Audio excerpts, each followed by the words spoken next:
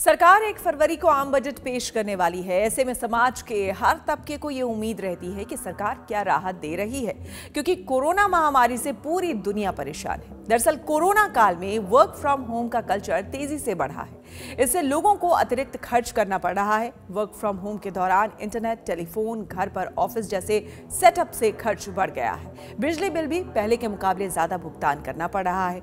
Corona महामारी से पहले ही इन लोगों को ऐसे खर्चों की कोई चिंता नहीं थी, क्योंकि कंपनियों से ज़रूरी सुविधाएँ मिल रही थी।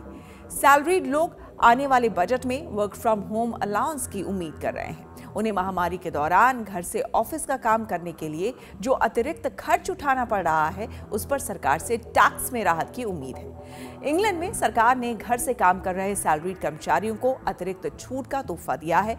वहीं डेलॉट इंडिया ने सिफारिश की है कि बजट में घर से काम कर रहे कर्मचारियों को पचास हज़ार रुपए के वर्क फ्रॉम होम अलाउंस के रूप में एडिशनल डिडक्शन का लाभ मिलना चाहिए।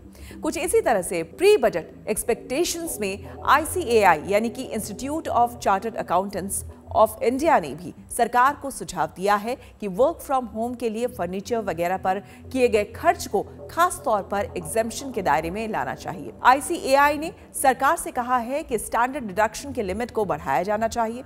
इनकम टैक्स एक्ट के सेक्शन 16 के तहत स्टैंडर्ड डिडक्शन के लिमिट को पचास हज़ार रुपए से बढ़ाकर एक लाख रुपए कर देना चाहिए।